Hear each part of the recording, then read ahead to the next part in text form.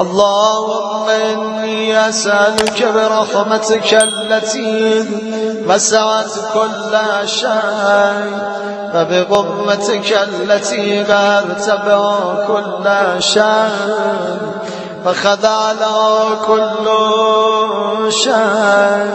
وذل له كل شيء فبجبروتك التي غلبت به كل شيء